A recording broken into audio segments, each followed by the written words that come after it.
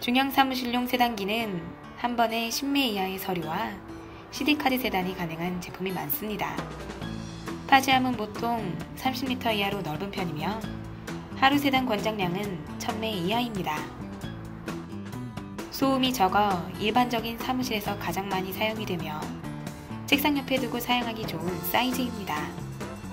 10명 이하의 사무실이나 부서에서 사용합니다.